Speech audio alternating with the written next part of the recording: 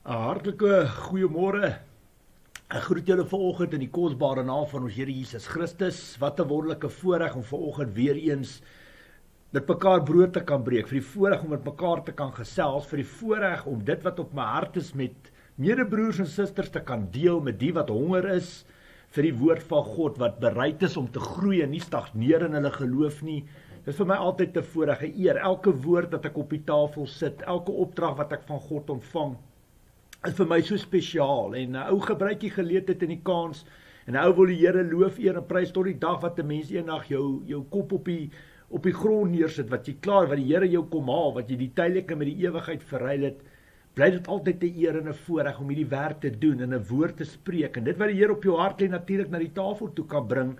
Uh wie ore het moet luister. Dit is dit is die die die ehm um, leerstelling se naam vir oggend En ek wil regtig 'n beroep op jou doen wat vandag na my luister om vir jou koppie koffie te maak, 'n koppie tee.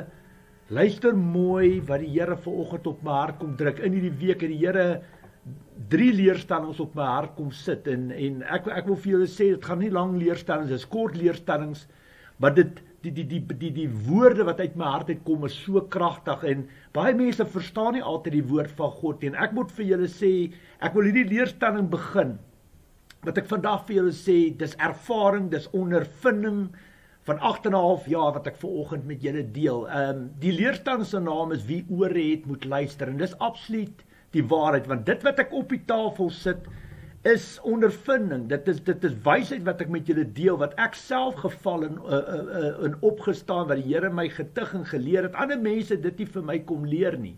En uh Dis waardevolle lewenslesse wat ek veral in my eerste 2 2 en 'n half jaar in my lewe vandat ek tot bekering gekom het, uh het ek baie geval en opgestaan en die Here my juist dit geleer sodat ek dit op die einde van die dag vandag op die tafel vir julle kan sit. En ek kan sien as ek as ek uh weet ook maar op sosiale media as ek bietjie rondkyk wat praat verskillende geestelike leiers en pastore en dominees mense wat voorstap of mense wat graag wil voorstap of hulle geroep is of nie geroep is nie.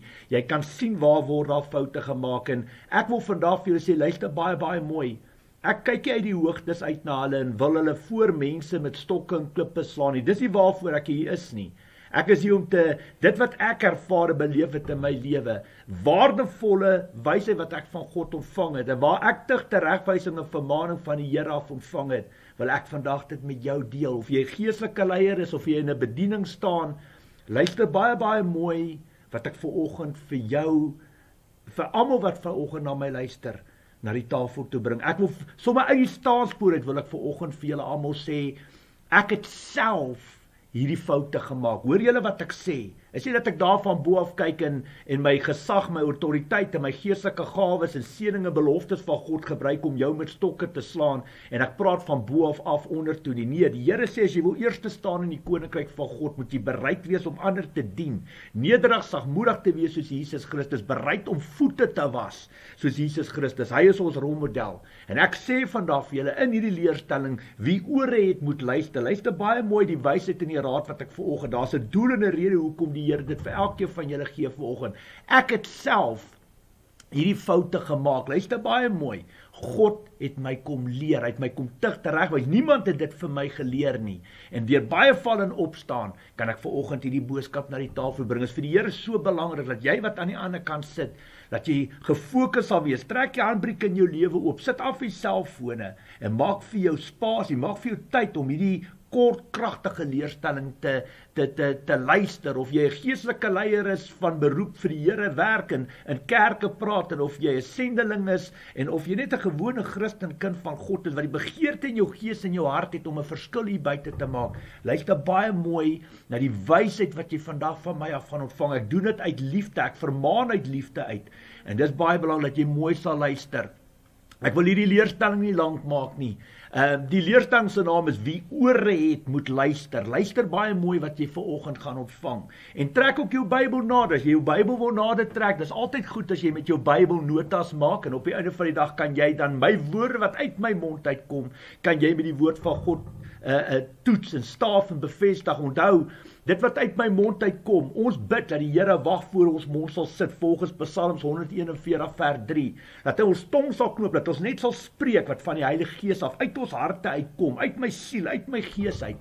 En hierdie is 'n boodskap, hierdie is 'n opdrag van God af en ek laat hom toe om my as 'n vesting te gebruik, as 'n instrument, as 'n slaaf, as 'n soldaat, as 'n gesalfde kind van God om sy praatwerk uit my uit na Here toe te kan bring. Die woord sê Jakobus 3:1 nie almal moet leermeester wil wees nie, want ons gaan anders te beoordeel word. Dis hoekom hierdie werk so sensitief is, so ernstig is. Ek vat my bedienerswerk vir die Here so ernstig op. En ek wil vandag vir jou, ek wil dit nie lank maak nie. Ek wil hê jy moet mooi luister. Uh, uh kry jou konsentrasie reg. Maak vir jou spasie en tyd en luister wat vandag na die tafel toe kom na jou toe. Mag die Here ook hierdie woord seën in Jesus Christus se naam. Baie belangrik, luister baie mooi wat ek nou gaan sê. Luister.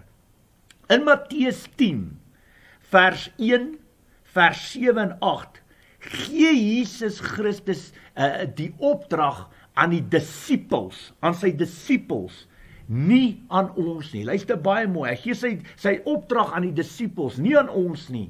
Jesus gee die mag en die gesag Hy bemagtig gegee die autoriteit aan sy 12 disippels om uit te beweeg en te doen wat hy vir hulle gesê het om te doen. Baie belangrik. Matteus 10 vers 1 vers 7 vers 8. Dis verskriklik belangrik. Ja, die woord is ons kompas, ons ons rolmodel en die woord sê in Johannes 14:12 ons sal doen wat Jesus gedoen het en nog meer. Maar ons kry ons opdragte van die Heilige Gees af. Luister verskriklik baie mooi. In in Matteus 10 vers 1 en vers 7 vers 8 gee Jesus sy opdragte vir sy 12 disippels, nie vir ons nie. Luister baie mooi. Dan ook in Lukas 10 vers 1 tot 20 gee Jesus die opdrag aan die 72 nie aan ons nie. Kyk weer daarna as jy jou Bybel oopmaak. Jesus praat met die 72. Hy gee die opdrag vir die 72, nie aan ons nie. Luister baie mooi want baie mense vat sommer hierdie skrifte, begin net maak en doen soos hulle wil. God praat daar met sy disippels. God praat daar met die 72, nie aan ons, nie met ons nie. Hulle word deur Jesus self aangewys. Jesus rig hulle op. Hy bemagtig hulle om daai werk te doen. Jesus gee die mag en gesag aan die 72 om uit te beweeg en te doen wat hy vir hulle gesê het om te doen. So geloof, gehoorsaamheid is belangriker as offers. Jesus gee die opdrag vir die 72. Jesus gee die opdrag vir die 12 disippels. Dit is verskriklik belangrik dat jy 100% sal onderskei hoe fyn die skrif in die woord van God is. Jy kan nie net daai skrifte vat en hier hardloop jy. Nee, die Here sê ek moet dit doen. Nee, die Here praat. Jesus Christus praat met sy 12 disippels daai. Praat nie met jou nie. Ons kry ons opdragte van die Heilige Gees af. Luister baie mooi. In Matteus 28 vers 16 tot 20 en Markus 16 vers 15 tot 20 gee Jesus weer die opdrag aan sy disippels nie aan ons nie. Luister baie mooi wat ek vandag vir julle sê. Matteus 28:16 tot 20, Markus 16:15 tot 20 gee Jesus weer die opdrag vir sy disippels, nie aan ons nie. Baie baie belangrik, dit is Jesus se direkte opdrag aan sy disippels. En en en ook in uh, Matteus 16 vers 19 gee Jesus die gesag, die autoriteit aan Simon Petrus, nie aan ons nie. Matteus 16 vers 19. Dit is vir my verskriklik belangrik dat jy in die Bybel sal sien met wie God praat, met sy 12 disippels, met die 72. Hy praat met Simon Petrus in Matteus 16 vers 19 wat hy hom die gesag, die autoriteit gee en natuurlik in Matteus 28 vers 16 tot 20. Ek wil vir julle ek wil vir julle vandag sê, luister mooi. God kan enigiets wat die Here deur die 12 disippels, deur die 72, deur uh, Petrus, deur Paulus, enigiets wat die Here deur hulle gedoen, kan die Here deur ons ook doen.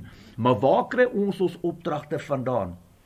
Van die Heilige Gees af. Dis hoekom Jesus opgevaar het en die Heilige Gees oor die wêreld uitgestorm het. As jy die Heilige Gees ontvang, my skape sal die Herder se stem kan hoor. Kry jy jou opdrag van die Here af. Ek kan nie net Matteus 10 vers 1 en vers 7 en 8 vat en nou besluit ek nou gaan lê ek hande op siekes en ek dryf demone uit en ek preek die hele wêreld vol en ek hardloop die hele Matteus 28 vers 16 tot 20 vat ek. Nee, die Here daar vir my gesê ek moet uitgaan en die hele wêreld gaan verkondig. Verstaan my punt baie mooi. Daai is 'n 'n wortel, 'n fondament, 'n riglyn wat deur Jesus Christus vir ons gelees in die woord van God. Baie belangrik. God kan enigiets met sy gees deur ons doen, maar waar kry jy jou opdragte vandaan? Daai mense het hulle opdrag direk van Jesus Christus uit Jesus se mond uit gekry.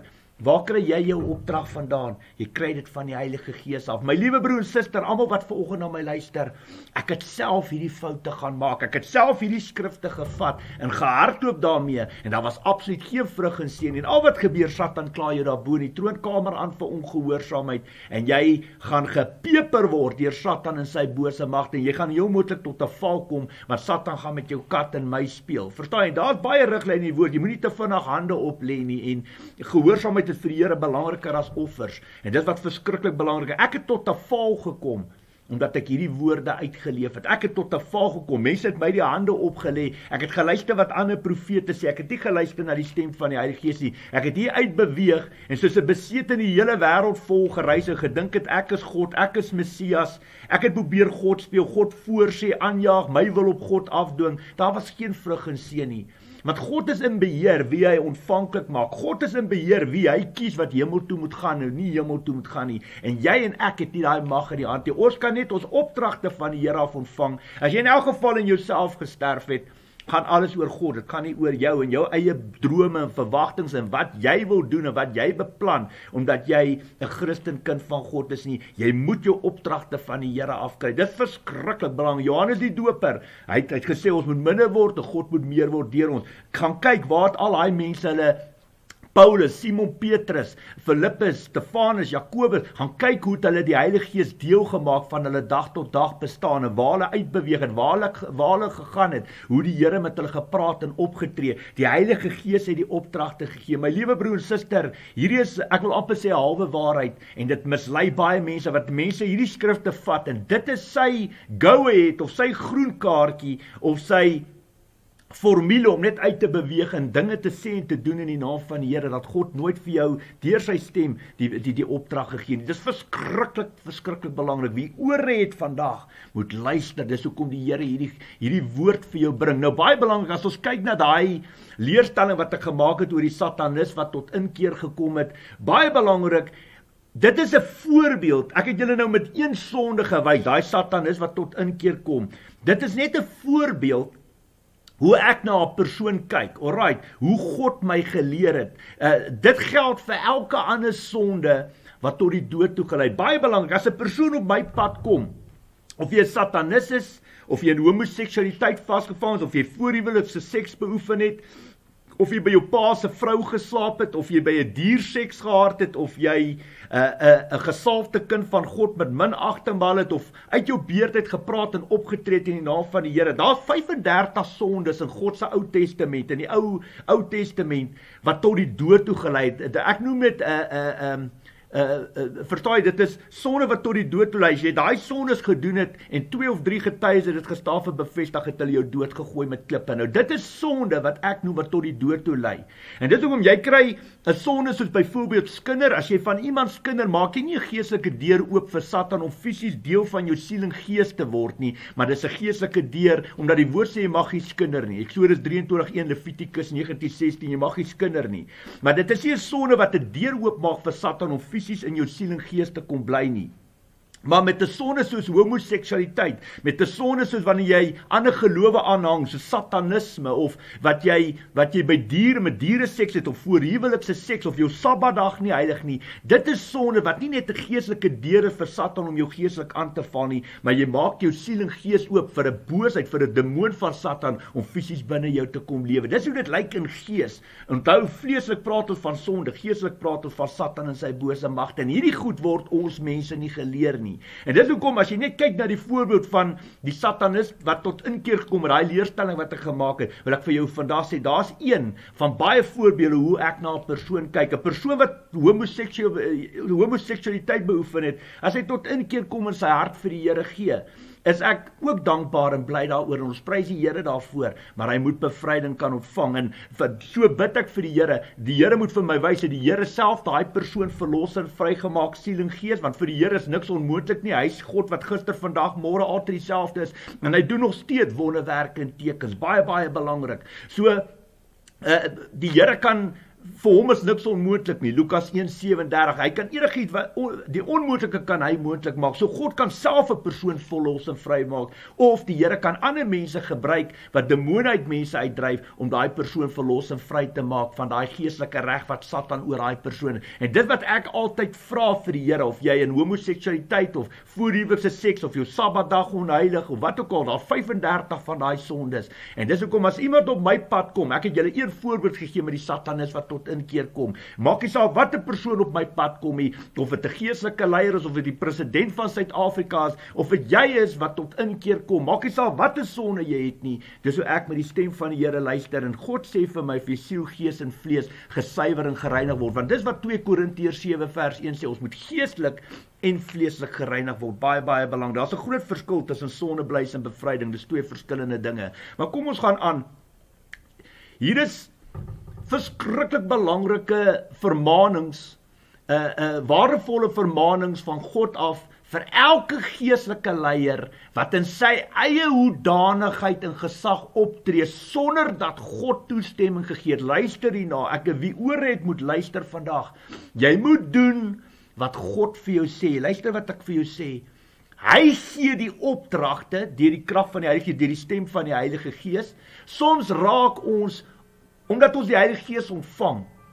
Soms raak ons oorgretig, ons raak oorywerig en doen en sê dinge in die naam van die Here wat God nie opdrag voorgegee het. Jy luister julle wat ek vandag vir sê. Baie mense dink omdat hulle die Heilige Gees ontvang het, is hulle soos 'n bus sonder brieke of 'n rollercoaster. Hulle begin net dinge sê en doen in die naam van die Here en dis konferensies hier en kampe hier en dinge doen hier. Hulle gaan aan en praat en tree op in die naam van die Here dat God nooit daai opdrag gegee nie. Hoor wat ek vandag onthou die woord sê my skape sal die herder se stem kan hoor. God gee daai opdrag. Ek doen absoluut niks as God my nie opdrag gee nie. Ek kan bid, ek kan Bybel lees, ek kan leerstellings maak, maar ek doen absoluut niks hier buite as God my nie opdrag gee nie. Dis die opdrag, dis so belangrik dat jy dit sal verstaan.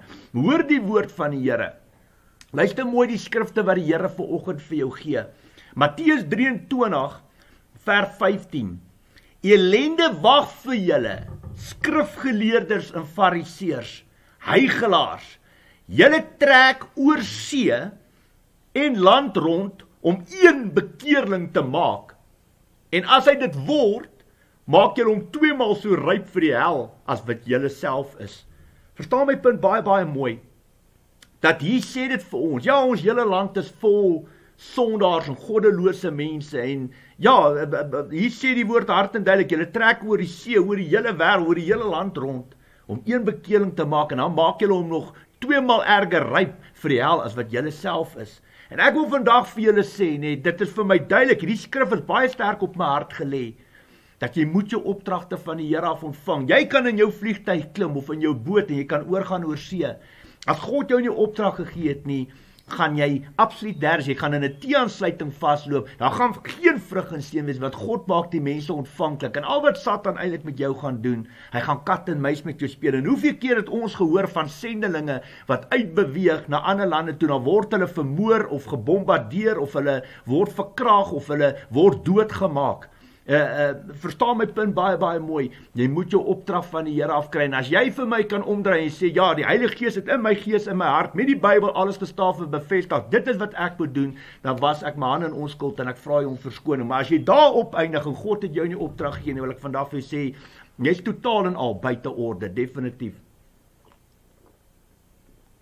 Nog 'n skrif wat die Here vir julle gee, uh wat geestelike leiers aanbetref uh, uh ons ons weet dat die fariseërs en die skrifgeleerdes ons weet dat hulle die kerk was eintlik Jesus se grootste vyand gewees toe hy op aarde gestap het. En vandag nog is die kerk uh uh Jesus se grootste vyand. Mense sê en doen dinge en daar's dwaalleers en almal verander die Bybel en skryf die Bybel oor om by hulle behoeftes in te pas en ons weet die verskillende daai genade leerstellings en die egte suiwer woord. Daar's groot verskille wat dit aanbetref. Maar hoor wat sê die woord hierso wat die Here vir julle gee. Luister baie mooi.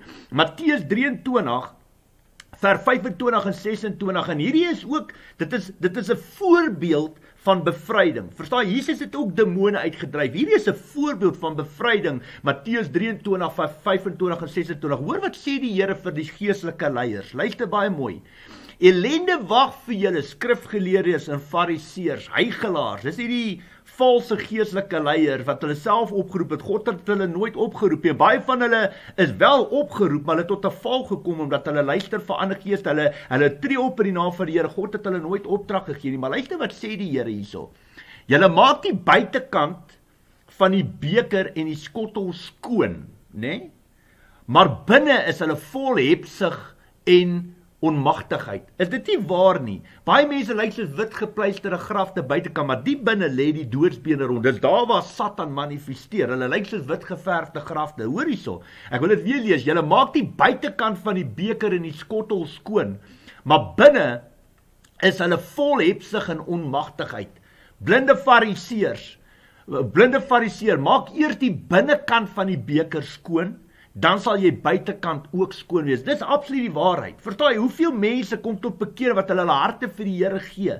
En weet jy wat? Hulle dat, dat, ek het nou daag geluister van 'n persoon wat opgegee het om 'n Christen te wees, wat hy kan nie teen die sonde weerstand bied nie. Hy bly die hele tyd die Here val. Hy voel nie goed genoeg vir Jesus Christus nie. Maar dit is omdat hy die sonde miskien bely het toe hy tot inkeer gekom het in die kerk of toe hy sy lewe vir die Here gegee het, dat hy gevoel het hy kom tot inkeer. Hy kom nader aan Jesus Christus. Toe moet hy sondebeleid kan doen. Toe moet hy bevryding ontvang en dit het nooit in die kerke plaasgevind nie. Nou jy dis common sense.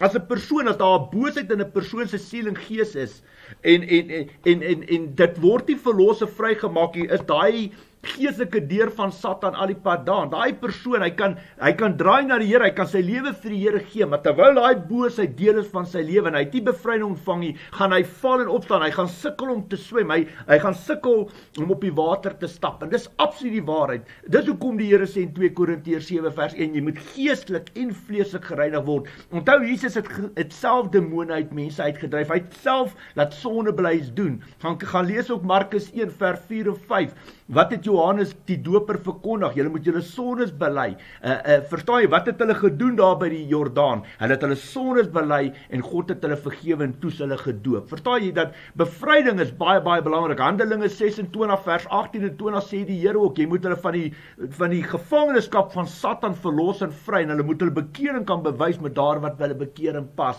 Dis verskriklik belangrik. So baie belangrik. Hier sê hierdie woord eintlik dat jy dat Maak eers die die binnekant van die beker skoon, die binnekant van 'n persoon. Jou liggaam bestaan uit 'n siel, gees en 'n vlees uit. Maak eers die binnekant van die beker van die persoon skoon, dan sal hy buitekant ook skoon wees. Baie belangrik. Baie mense kom hier by my aan en weet hulle nie eers wat sonde is nie. Dit is absoluut skrikwekkend. Dit is eintlik skokkend, maar kom ons gaan aan.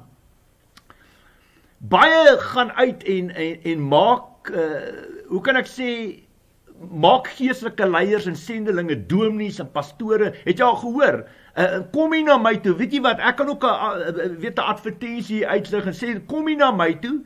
Kom loop 'n 10 jaar kursus of 'n 10 2 2 jaar kursus en ek gaan vir jou die beste evangelis maak. Ek gaan vir jou die beste apostel maak. Ek gaan van jou die beste profeet maak. Ek gaan van jou die beste sendeling maak en ek gaan jou uitstuur. Ek gaan jou maak dat jy opgelei is dat jy kan gaan en dinge doen en sê in die naam van die Here. Ek sal jou maak dat jy hoogtes in jou lewe bereik. Ek sal jou maak dat jy 'n gesalfde kind van God is. En ek wil vandag vir jou sê luister baie baie mooi. God bemagtige mens. God roep 'n mens op. My liewe broer en suster, ek was 'n transporter van beroep. Ek het my eie besigheid gehad. Ek het in my hele lewe nooit gedink ek sal hierdie werk doen nie. Maar toe ek down and out out was in hierdie lewe, het ek op 'n bank opgeëindig wat ek amper selfmoord gepleeg het. En die Here nê het het my opgeroep vir die werk. En toe my oproep, toe bevestig hy dit in Jesaja 42 vers 1 tot 4, Lukas 4 18 19, Jesaja 61 vers 1 en 2. Dit sê jy het klaar gewerk in die wêreld, jy gaan nou vir my werk. En ek wil vandag vir sê, dis nie dis nie koer wat kan besluit word jy 'n dom nie. Koer kan nie besluit jy word 'n pastoor. Koer kan nie besluit jy gaan 'n evangelis of 'n apostel of 'n of 'n profeet word en jy gaan die hele wêreld ingestuur word. Ek kan jou met die Bybel slaan 240 miljoen keer in jou lewe. Ek kan nie wysheid in jou kop inslaan nie. Dis God wat jou bemagtig. Dit God wat jou die gesag en autoriteit. Dis hy wat jou ontvanklik maak. En as hy die opdrag gee vir jou om te doen, sal hy jou bemagtig om daai werk te doen. So wat ek eintlik vandag vir jou sê, ons kan nie besluit Uh wie word 'n dominee, 'n pastoor, 'n evangelis, apostel ensovoorts. Hoeveel mense stap in universiteite en en leer homself mord dood word ingesalf en ingesweer en dit is as hy daai sertifikaat kry, dit sy toestemming om naam van die Here te praat en op te tree en te doop en te trou en te begrawe. Verstaan my punt mooi. Wie daai mense opgeroep het? God hulle opgeroep of het hulle self opgeroep? En dit wat ek probeer aan julle verduidelik, ons het dit nie in onsself om te besluit wie word apostels en profete en pastore en dominees en geestelike leiers. Jy kan nie net maak wat jy wil nie, my liewe broer en suster. Hoor mooi, dis God wat jou bemagtig en jou oproep. Ons kan nie besluit wie word 'n dominee, pastoor, leraar, priester, profeet of 'n evangelis nie. Dit is alles God se werk. Hoor julle, wie oor het moet luister. Dis God. Dis God wat jou oproep. Ek het nie gevra wat ek doen vandag nie. God het my opgeroep. Maar toe hy my oproep, toe bemagtig hy my met wat ek nodig het, die ammunisie, die wapens, die krag en die Heilige Gees in my om die werk te kan doen. En dis hoekom dit kom met verantwoordelikheid. Ek kan nie besluit wie stuur ek gou Egipte toe en wie stuur ek gou Kenia toe, wie stuur ek Engeland. Dit is nie vir my nie. Ek kan na die stem van die Here luister. Ja, ons moet mekaar bou, ons moet mekaar met wysheid kan bedien.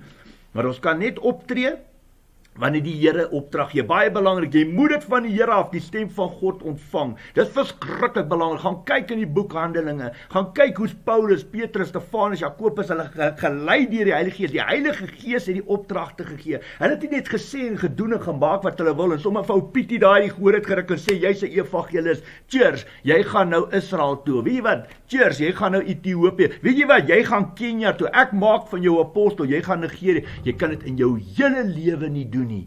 Jy moet jou opdragte van die Here af ontgaan, ontvang en God bemagtig 'n persoon om dit te doen. God roep hom op en God besluit wie gaan hemel toe en wie gaan nie hemel toe nie. Jy kan nie self wil God speel en probeer meneer wees net omdat jy 'n geestelike leier is of geroep is deur die Here. Jy moet jou opdragte van die Here af ontvang. Dis verskriklik belangrik. Dit is alles God se werk, my liewe broer en suster. Hy bemagtig jou en seën jou met die wysheid, gesag en autoriteit. Hy bemagtig jou om die bedieningswerk vir hom te doen. Wie oor het, moet luister.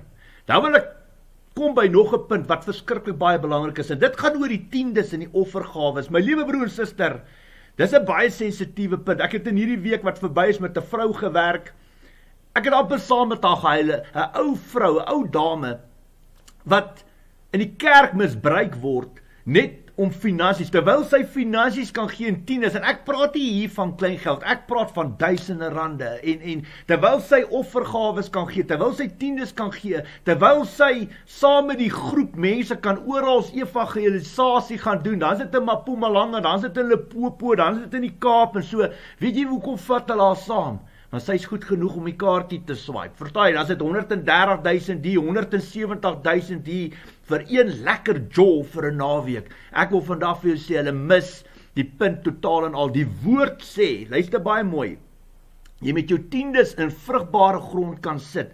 Jou tiendes is soos 'n mieliepit, my liewe broer suster. Jy kan daai 10000 rand, daai mieliepit vat en jy kan dit op 'n teerpad neersit. Jy kan dit op 'n klip neersit en die son gaan dit verbrand. Daar gaan absoluut niks van kom nie. Daai persoon wat daai 10000 rand ontvang, gaan net lekker lewe met jou geld en hy gaan 'n jol van 'n kuier hê en daar's geen vrug en seën in sy werk nie. Verstaan jy? Maar as jy jou jou, jou tiendes, jou mieliepit in vrugbare grond sit, sal hy wortels skiet Hy sal 'n stingel maak. Uit die stingel uit sal daar 'n 'n 'n stronke kom en elke milie milie sal 2 of 300 pitte hê. Wat verstaan jy? Dis hoe die koninkryk van God werk en dis vir die Here so belangrik dat jy jou tiendes in vrugbare grond wat jy kan sien die werk van die Here word gedoen en wat jy op die einde van die dag die mense aanraak wat vir God belangrik is. My liewe broer en suster, vir kerk is die tiendes belangrik. Want 'n persoon wat 'n satanis is of 'n homoseksueel of wat wat verkeerd lewe met met dwelms en moord gepleeg het te verkrag, as hy sy hart vir die Here wil gee,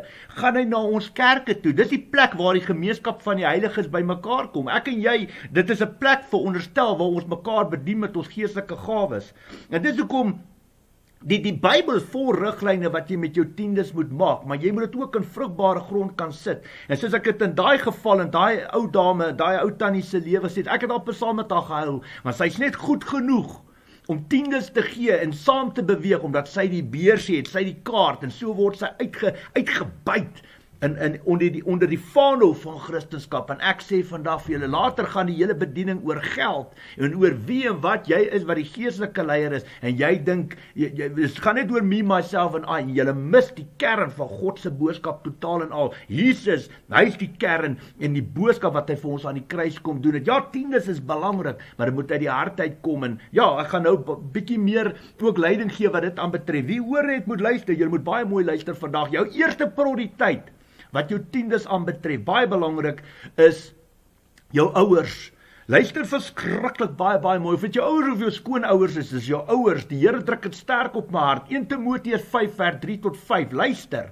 Dit wat uit my mond uitkom, staaf en bevestig ek met die woord. Versorg die weduwees wat werklik alleen agtergelaat is.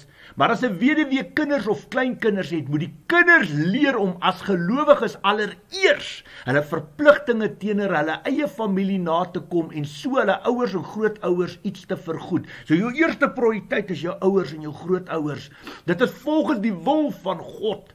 'n Weduwee wat alleen agtergelaat is en niemand het om vir haar te sorg nie, vestig haar hoop volkome op God en volhard dag en nag met smeking en gebede. Baie belangrik, hier's weduwees hier buite wat ons Christen kinders van God se hulp nodig het. Waar gaan hulle? Hulle, hulle sluit aan by die kerk. Ons is 'n Christelike familie in ons kerke. Dis waar die gemeenskap van die heiliges bymekaar kom. En dis belangrik dat ons volgens die riglyne bepaling van God se woord lewe. My liewe broer en suster, as jou ouers uh um reeds die tydelike met die ewigheid verhoud het of hulle het genoeg om hulle self te versorg dan kan jy bid en op jou knie gaan sê Here waar wil u hê moet ek my tiendes insit wat ek 'n verskil maak hier buitekant? Verstaan jy of dit of uh verstaan jy ons ons sal nou kyk wat 'n ander plek is daar ook wat die Here op my hart gelê het. Ja daar's da, jy kan weduwees het ons hulp nodig maar hoeveel weeskinder weeshuise is hier buite uh ouer huise ou mense verstaan jy dis verskriklik belangrik dat jy jou saad en vrugbare grond sal sit. En dit begin by die kerk. Want baie mense wil jou wil jou geld hê. Hulle wil nie Jesus Christus hê nie. En dis hoekom iemand wat die Here bitterlik liefhet, is deel van van 'n van 'n een liggaam van Christus, bid van 'n deel van 'n kerk, want dit waar die heiligheid, dit is waar die gemeenskap van die heiliges bymekaar kom. En verstaan jy? En dis hoekom baie mense hier buitekant ons deel die land met goddelose mense. Baie mense wil nie Jesus Christus hê, hulle wil jou geld hê. En dis hoekom dit altyd belangrik is om saam te bid. Luister wat die stem van die Heilige Gees vir jou sê, sodat jy jou saad in vrugbare grond kan sit wat jy weet Die Here word verheerlik deur jou geloof en jou gehoorsaamheid. Baie belangrik, gee jou tiendes, luister baie mooi. Gee jou tiendes vir God uit jou hart uit. Verstaan jy? Nie vir mense nie. Dit wat jy uit jou sak uithaal, gee dit vir die Here met die bedoelings om dit vir die Here te gee vir sy koninkryk, nie vir mense nie. God kyk wat binne jou hart aangaan. Ek sê altyd vir mense, hoe wil jy God vertrou met jou lewe as jy hom nie eens kan vertrou met jou geld nie? Dit is dit is dit dit is absoluut die waarheid.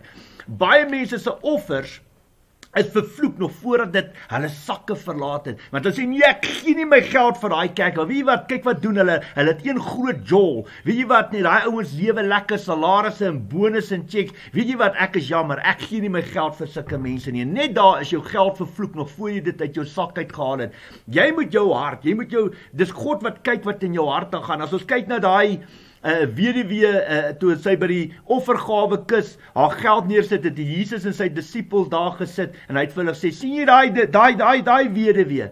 Sy het haar laaste bietjie wat sy het, het sy in daai offergawe al offergawe kus ingegooi. Maar die wat daar is wat ook nog offergawes gee, het het bietjie uit hulle baie, het hulle daar ons het die Here weet wat uit jou hart uitkom. Die Here weet wat binne daai kusie val. En dit wat belangrik is nê, dit gaan oor om dit vir die Here te gee, nie vir mense nie. As jy dit met die regte bedoelings in jou gees en jou hart gee, los die oordeel straffe vergelding vir die Here. Moenie jy oordeel straffe vergeld. God weet jy gee dit vir daai mense en wie dit ook al ontvang gaan verantwoordelikheid vat daarvoor. Ek gaan ook nou daarby kom.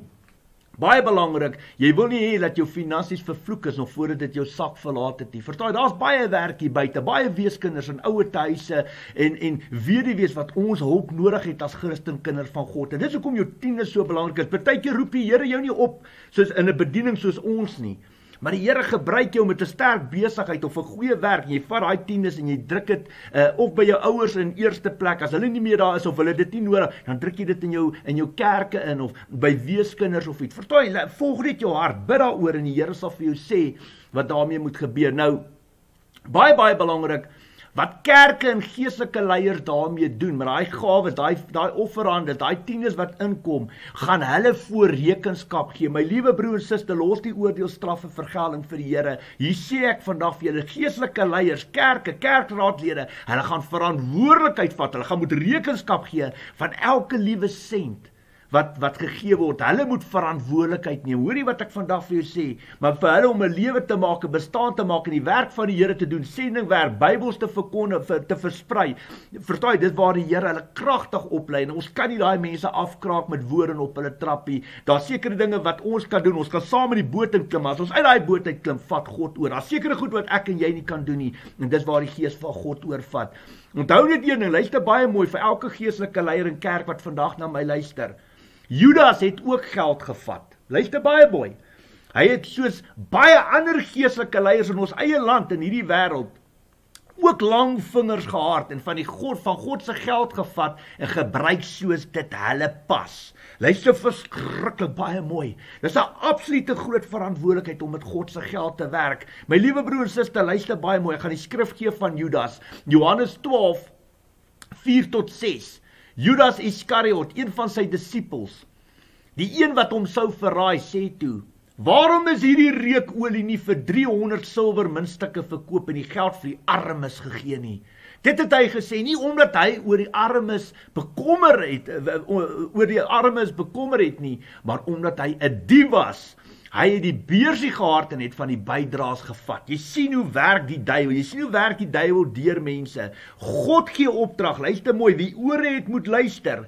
God gee opdrag wat met elke sent gedoen moet word. Hoor julle wat ek vandag sê? Vir elke offer wat jy ontvang, of vir tieners is of in die kerk 'n Sondagoffer of wat ook al, vir elke offer is daar 'n doel en 'n rede. Alraight, ek wil vir julle een voorbeeld noem. Ek het ek het mense wat elke maand 1000 rand in my bediening inbetaal. Luister baie baie mooi. En daai 1000 rand is nie my geld om my vrou en my kinders spur toe te vat nie. Verstaan my punt mooi.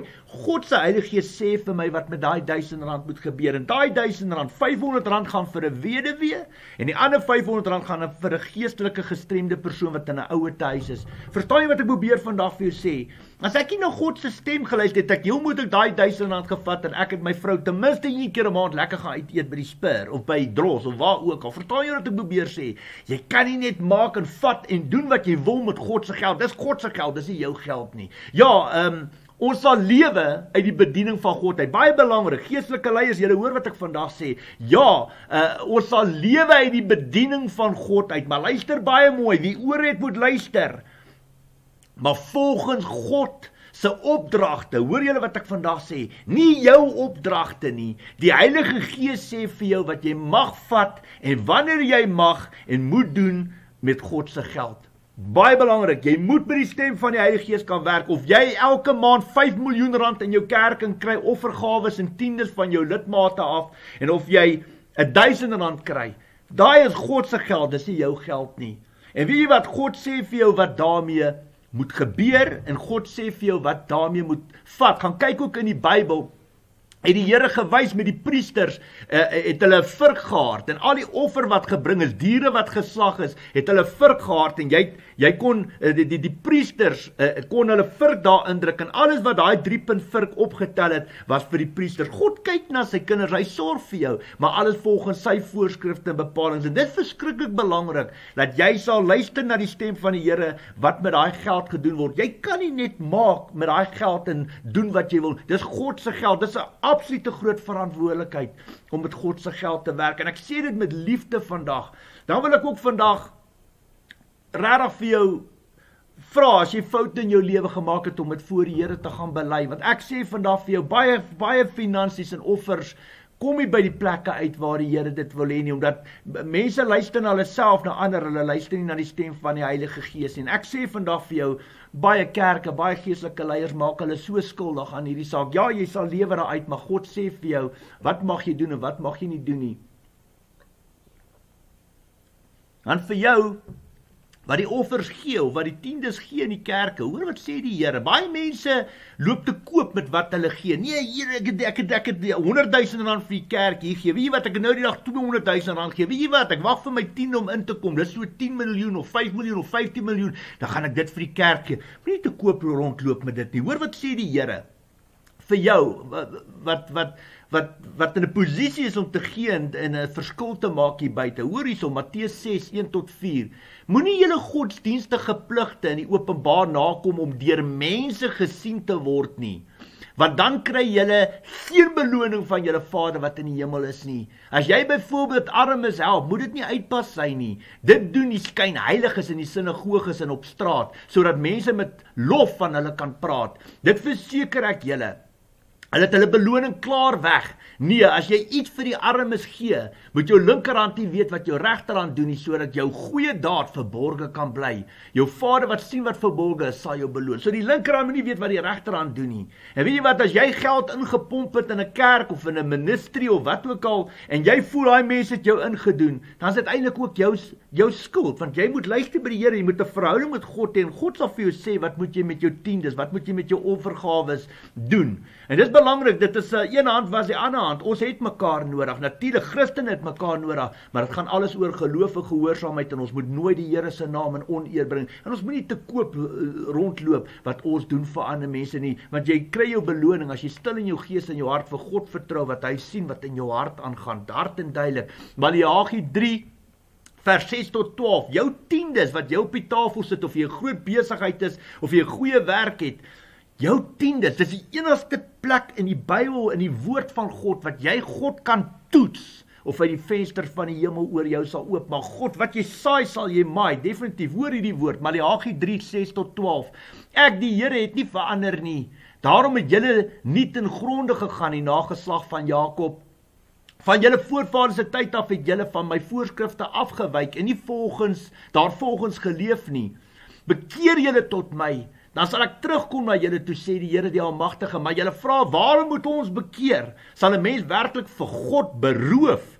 Tog beroof julle my. Julle vra waarvan beroof ons u? Van tiendes en offergawes. Baie mense hier buite lewe net vir hulle self. Dis net me myself and I, my karre, my mooi huise, my bosplase, my strandhuise, my polisse, al my rykdom. Alles moet net die beste wees. My safari pakke, my horlosies. Weet jy wat? Alles gaan net oor jouself. Jy moet die beste, jy lewe net vir jouself. Nou hoor die woord van die Here, daar rus alreeds 'n vloek op julle en tog bly julle my beroof. As jy nie jou tiendes vir die Here gee nie, beroof jy God. Hier sê die Bybel dit vir ehm um, ja, uh, daar is alreeds 'n vloek op julle en tog bly julle my beroof. Die hele nasie doen dit. Bring die volle tiende na die voorraadkamer toe sodat daar iets te eet in my huis kan wees en toets my hierin. Vertaai dan moet in die voorraadskure van die Here moet daar moet daar kos kan wees om die werk van die Here te doen. Evangelisasie, Bybels te koop, weeskinders en ouer te huise by te staan, armes, weduwees by te staan. Verstaan jy? Da, daar is okay. Bring die volle tiende na die voorraadkamer toe sodat daar iets te eet in my huis kan wees en toets my hierin sê die Here. Hoor julle, julle kan God toets op hierdie skrif uh, uh toets my hierin sê die Here die almagtige toets my of ek nie die venster van die hemel vir julle sal oopmaak en vir julle reën sal uitgiet meer as wat julle kan gebruik nie.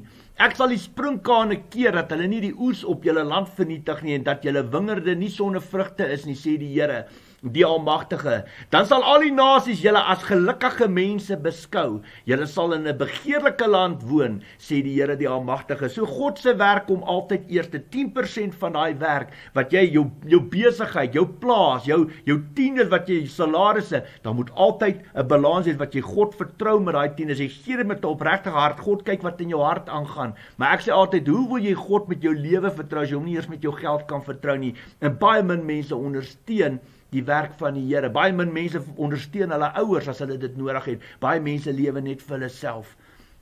Nou baie belangrik, die wat besigheid doen met God se naam, daar is baie geld om te maak in die naam van Jesus Christus. Dis 'n vermaaning. Hier's baie mense wat in die naam van die Here praat en optree in konferensies en kampe hou teen groot bedrag geld. En weet jy wie ly daaronder? Armes en God se naam word in oneer gebring. My liewe broer en suster, die woord sê dit wat ons ontvang, ons gee ons het dit verniet ontvang, ons moet dit verniet kan uitdeel. Ja, God sal voorsien en versorg volgens sy terme, volgens sy opdragte. Ek kan nie sê, weet jy wat, sien julle hoe mooi die wysheid wat ek met julle vandag deel, R300 te kop as jy hierna wil luister nie of wat jy na my konferensie of my kampe toe wil kom en jy mis die die senterpunt van Jesus Christus waarvoor hy gekom het verstaan jy en en die liefde van God mis ons totaal en al en dit word later meer oor me myself en I. Dit gaan meer oor geld as wat dit oor Jesus Christus en sy koninkryk gaan. My liewe broer en suster, as ons net kyk Hier's baie mense wat in die naam van die van God besigheid doen, besigheid doen met God se naam. Daar is baie geld om te maak in die naam van Jesus Christus. Ons weet hoe baie mense Jesus se naam misbruik om geld te maak, om lewe te maak. Hulle sal enigiets doen in die naam van Jesus sodat hulle kan geld maak daarmee. As ons net as ons kyk na al hierdie uh, kampe en al hierdie konferensies en koffiekroë en boekwinkels en restaurante wat net daar is om hulle self te verryk en geld te maak. God se huis het 'n rowersnes vir baie mense geword word, maar die woord sê dis 'n plek van gebed. Dis dis heilig, dis 'n plek van gebed. Dis nie 'n rowersnes nie. God sal voorsien volgens 'n uh, eh, 'n uh, eh, volgens sy wil en sy regulasie, volgens sy bepalinge. Jy kan nie van God se naam 'n besigheid kom maak nie. En dis hoekom jy moet baie versigtig. Jy sal sien of jou kerk gaan oor 'n besigheid of dit in 'n maatskappy verander het en of jy regtig fisies kan sien dat die werk van die Here daar gedoen word en reg gedoen word dat jy die stem van die Here kan hoor.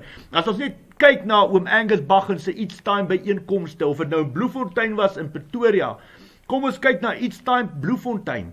In 6 weke het die Here Oom Angus het die opdrag gekry. Hy het gebid daaroor. Here sê, die Here sê dit en dit. Daar gaan 1 miljoen mense wees.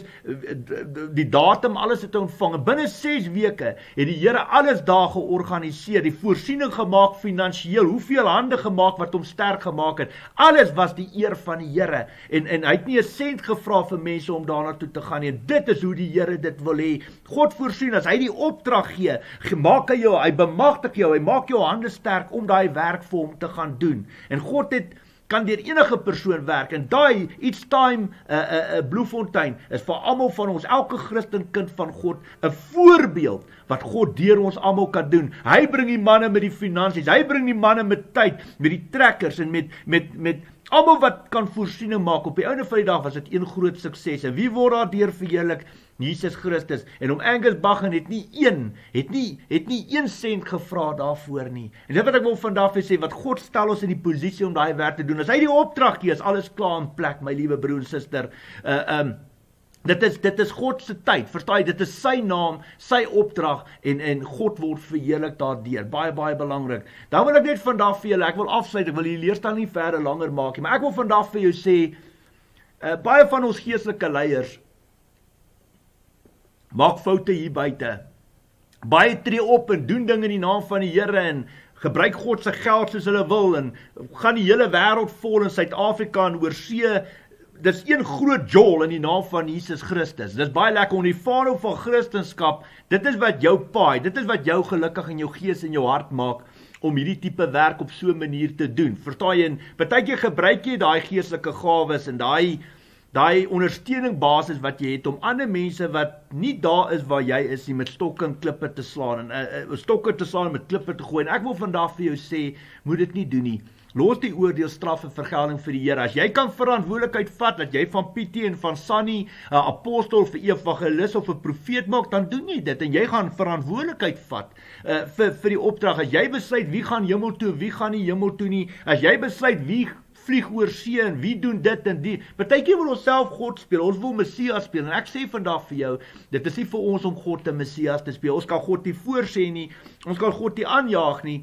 Ons kan nie ons wil op God afdwing nie. Verstaan jy 100% in jouself gesterf het, gaan dit oor die Here, dit gaan nie meer oor jouself nie. En dis hoekom elkeen van ons, ek is ook 'n geestelike leier, en of ek met 5 mense op my blad werk en of ek met 20 miljard mense werk, ek gaan verantwoordelikheid vat wat uit my mond uitkom en die manier hoe ek my werk doen, hoe ek God se geld hanteer, wat ek met sy naam spreek en optree. Ons gaan rekenskap gee. Daar's genoeg waarskuwings in die Bybel en ook dit wat ek vandag op die tafel vir almal van ons kom sê ons moet wie ore het moet luister ons moet begin kyk na onsself tekenbord toe beweeg selfondersoek doen en terugbeweeg op God se vlak. Kyk na onsself selfondersoek doen. Ek bedoel hier's mense wat in kerke sit. Hulle sal nie 'n kitaar speel nie. Hulle sal nie 'n drom slaan nie. Hulle sal nie klavier speel nie. Hulle sal uh uh hoe kan ek vir julle sê Hulle hulle sal nie 'n fluit speel as hulle nie betaal word daarvoor nie. Daar's baie wat in die kerke optree en goed. Hulle sal nie in daai kerk optree as hy nie betaal word nie. En ek sê vandag vir jou, God se naam het vir baie besigheid geword. Daar's baie geld om te maak in die naam van Jesus Christus. En wil jy kyk of jy in plekke saam met die Here, dan gaan kyk jy hoe die hoe die eerste bekeerdes dit gedoen van die boek Handelinge af. Gaan kyk hoe daai bekeerdes opgetree. Hulle het nie van God se name van Jesus 'n 'n 'n 'n besigheid gemaak hier. Hulle het bymekaar gekom. Hulle het hulle geestelike gawes gebruik om om die werk van die Here positief te beïnvloed en mense nader te trek aan die Here, nie verder te verstoot nie. En daar kon jy sien hoe die geestelike gawes 'n uh, 'n uh, beweeg het buitekant. Hoe het hulle mekaar bedien? Hulle het wonderwerke gesien, hulle het engele gesien. Hulle het gesien hoe word mense genees en gesond gemaak. Hoe word demone uit mense uitgedryf? En dis hoekom ons ons ons geloof is afgewater. Die Bybel is doodgepreek, doodgepraat. En dit wat ek wil vandag vir julle sê, ons sal moet terugbeweeg, kyk na onsself en terugbeweeg waar God ons wil hê. Op die waterstappe geloof. God sal voorsien en versorg. As God die opdrag gee, sal daar altyd vrug en seën wees. Ek het 100% ondervinding en ervaring as dit by hierdie tipe dinge kom. Ek wil net vandag sê vir baie geestelike leiers wat praat en optree hier buite, Wil ek ten minste vir almal sê wat hulle self verlekkers as hulle sien hierdie mense maak swakhede en foute. Ek verlekker myself nie en hulle nie. Ek wil om die waar sê wil ek ver oggend 'n pleintjie vir hulle gee. Hulle probeer ten minste iets doen. Hulle is nie net sleg nie. Baie van hulle is wel geroep deur die Here, maar Satan steel hulle seëning en hulle stem weg. Hulle het tot 'n val gekom deur swakheid, deur foute. Ek het ook foute gemaak. My eerste 2 2 en 'n half jaar was 'n absolute leerskool in die oë van die Here. En ehm um, ek sal dit nooit vergeet nie. Was 2015, 20 Mei 2015 het die Here my verlos en vrygemaak van baie geestelike regte van mense wat my die hande opgelê het en hierdie profeet sê dit in die naam van die Here en daai een sê so en ek het dit nooit gestaaf en bevestig. So jy vat 'n leen wat kom van hulle af en jy gaan met die leen. jy het dit nooit met God gestaaf en bevestig nie en so het ek ook tot 'n val gekom. Maar die Here vir my sê dit jy's toegestaan en toegelaat sodat ek dit vandag vir jou kan kan leer wat aan die ander kant is van hierdie leerstelling en ek prys die Here daarvoor maar ek wil 'n pleintjie gee Ons baie van ons geestelike leiers of die wat probeer 'n verskil maak hier buite maak foute definitief en uh deur dit te doen bring hulle partyke uh die naam van die Here in oneer en mense kry seer in ons kerke soos hierdie ou tannie wat op my pad hierdie ou dame wat op my pad wat seer gekry het in die kerk. Maar sy's op die punt wat sy alles onttrek en nou wil sy uit daai kerke beweeg en sy wil nooit ooit weer haar voete in 'n kerk sit nie. So wie betaal die prys op die einde van die dag? Jesus Christus, ons geloof, Christene, betaal die prys van een of twee mense wat platant God se naam in oneer bring en van God se naam 'n besigheid bring en dit gaan net oor wie en wat jy is, me myself and I in plaas van Jesus Christus en ons luister nie na die stem van die Heilige Gees nie. My liewe broer, suster, is so belangrik dat ons sal terugbeweeg op God se vlak. Maar vir daai leier wat probeer iets doen, wil ek vandag sê, ek is nie net hier om vandag met stokke en klippe te slaan. Ek is nie net hier om te tug, te regwys en te vermaan nie. Ek is hier om vir jou sê Ek sien ook raak dat jy nie bang is om iets te probeer doen hier buite. Daar's baie mense wat sit in hulle sitkamers. Hulle wil net visse en broodjies hê, maar hulle sal nooit visse en broodjies bring sodat ander mense daarmee kan deel nie. Hulle wil net hê, hulle wil net ontvang, maar hulle doen absoluut niks nie. Baie mense wil net hemel toe gaan, maar hulle wil niks doen daarvoor nie. En ek wil vanaf sê, foute maak jy en 'n uh, uitsprake maak jy. Miskien hanteer jy God se geld nie reg nie. Miskien het jy vandag baie geleer maar ten minste probeer jy iets doen. En dit is iets wat niks en niemand van jou kan wegvat nie maar my my raad vandag aan jou jy het gehoor wat die Here vandag deur hierdie leerstelling op die tafel sit. Bekeer kyk na jouself, draai terug na die Here toe, vra hom om verskoning as jy verkeerd gehandel het en soek die stem van die Heilige Gees op, vas en bid en vra vir die Here, Here, ek steek my hand op vandag. Ek het myself opgeroep, U het my nooit opgeroep nie. Weer, weet jy, ek het ek het ek het dinge gesê en gedoen in jou naam wat jou teleurstel of ek het van jou finansies gebruik en net my eie salaris besluit ek kry 30, 40000 rand 'n maand, ek kry 'n bonus,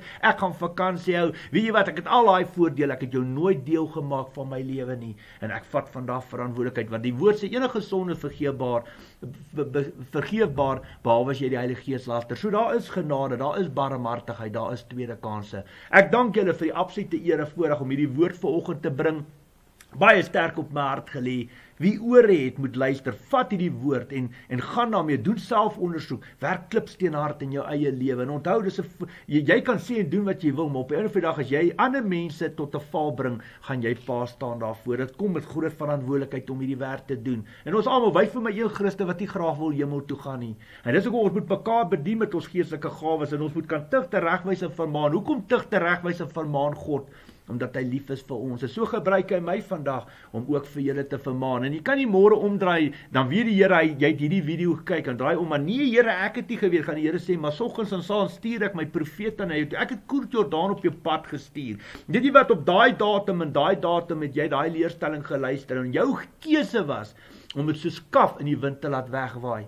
En dit wat ek vandag vir julle wil sê, kyk na jouself, sorg dat jou lewe reg is as Jesus jou kom maar. Lewe elke dag of dit jou laaste is. Dis baie belangrik. Ons ons ons moet mense nader trek aan die Here, nie meer skade maak en verdeeldheid saai en laat die finansies van God op die regte plekke uitkom. Dis verskriklik belangrik. My liewe broer en suster, Mag die Here se seën oor hierdie woord oor hierdie saad wees. Mag die Here julle behoed, bewaar en beskerm. Mag die Shalom vrede van ons Here Jesus Christus oor julle lewens spoel.